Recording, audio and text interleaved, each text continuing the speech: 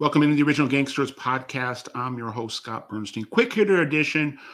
We're going to go out to the west side of New York. Um, I did a deep dive of the Genovese crime family in 2024, the upper echelons of the organization, um, or the upper echelon, I should say. Uh, Barney Bellomo, the godfather of that family, um, the boss of bosses, the most powerful. Uh, mafia don in New York City, according to my sources. Uh, he's not an official boss of bosses. I, I'm using that term more, um, you know, more uh, general terminology as opposed to him being a of a elected uh, capo de tutte capo in uh, capi in um, in a commission or whatnot. So I know people take umbrage with that. Anyway, Barney, uh, uh, you know, lives in, in City Island and uh, keeps a very low profile. Uh, he's a guy that I'm told relies on, you know, seven primary people to to keep the Genovese crime family, you know, uh, moving like a well-oiled machine, like we know they've always been. You know, the, the they are the Ivy, the Ivy League of of uh, OC, the you know the Harvard, the Yale, the Princeton of the mob in America, dating you know dating back decades, and uh, Barney is just kind of the next in line uh, of you know great leaders, guys that are you know they they hit the trifecta that I call in uh, what makes a a great organized crime boss. You know, loved, feared, and respected. So uh, let's get a break down. You know, kind of the king's court, if you will uh, on the west side. Barney, obviously, in the top spot. Some people question, um, I guess, if Ernie might be the real guy uh, puppeting Barney. I've heard that, but that's not true, according to my sources. Uh, Barney is the top guy. Ernie Muscarella uh, is his underboss. You know, very, very, very respected. Um, a guy that uh, holds juice, eh, you know, in, in every borough and um, is you know maybe the the most formidable underboss um, in America right now. But uh, underneath him, he, we reported uh, earlier this year that Patsy Parrello, the OG uh, on Arthur Avenue out in the Bronx, um, when he came out of prison a couple years ago, had been uh, bumped up to consigliere. Um, I'm told that uh, Uncle Patty Falcetti could actually be the acting consigliere right now, um, and is definitely going to be the future consigliere. Uh, he is somebody that is uh, always looked to uh, for counsel by Barney, someone that spends a lot of time with Barney. I'm going to talk about kind of a coffee group uh, that Barney and his, and his, inner circle have uh, in a little bit. But Patty is is a go-to in terms of a sounding board for um, for Barney as well as Ernie and and, and Patsy. Uh, street boss right now is Danny Pagano. We also reported that uh, recently. You know, he had been the street boss, got into some legal problems, um, and was replaced by Mickey Ragusa, a protege of Barney. Uh, Mickey is probably going to be the the future underboss, I'm told, uh, another guy that spends a lot of time uh, with Barney and uh, very trusted.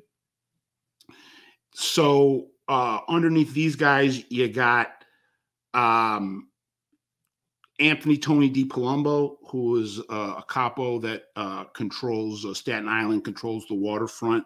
another guy that's relied on from Barney to do a lot of heavy lifting.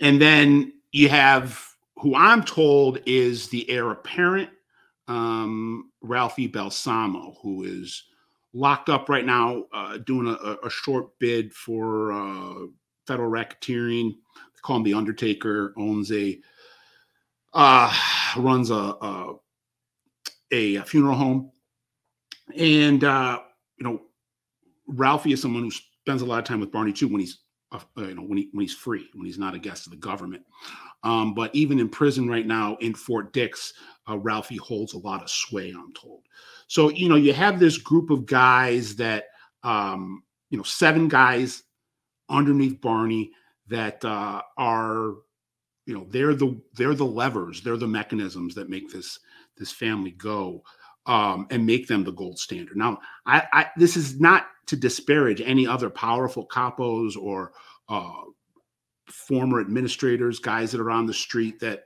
that still have uh, juice and power, and that Barney uh, likes. Uh, in some cases, trusts and looks to counsel, uh, looks for counsel from. But the seven that I just named are uh, that's the that's the starting lineup, if you will. So um, Barney likes to have coffee with these guys in the morning, um, not in public, uh, and and they're very smart about it. You know, kind of moving moving from place to place, uh, different apartments, different condominiums, different houses, uh, different you know, possibly social clubs or whatever. Um, and uh, I know that there are some guys that are there kind of every day with him, uh, Mickey and Patty. And uh, then there are guys that come in, you know, once a week to check in or twice a week. Guys like uh, Ernie and Danny, uh, and and uh, uh, Patsy and and Tony D come by uh, at least uh, a handful of times a month to have coffee and chime in um, on their end. So uh, that's how Barney likes to do a lot of his business. I'm told uh, these kind of morning coffee clashes uh, with his boys, and it's just you know kind of interesting to see how this family will continue to evolve. But I'm told that Ralphie Balsamo is is being groomed for the eventual top spot. Uh, Mickey Ragusa will probably be the the underboss. He was the street boss, um, as we as I said before for Danny, but uh, Danny Pagano was back running the day to day for Barney. He's the final word on the street uh, out of uh, East uh, East Bronx. Uh, the name of name of his headquarters, uh, I believe, is the uh, East Bronx uh, Soccer Club. But uh, another, you know, an OG, a guy that eh, multi generational in terms of his bloodline, and all these guys, by the way. or I should say, most of these guys, at least, were you know, well liked by the chin, which is, Barney is who Barney is today because the chin saw something in him, you know, way back in the 70s and 80s uh, that I think Barney sees in in Ralphie and uh, and Mickey. So that's my report uh, from the West Side. that's what I, what I got for you. 2024. This is what the the batting order looks like. Check back for more breaking OC news here on the OG. Please like, subscribe, share, uh, spread the word. I'm Scott Burnstein, OG Pod out.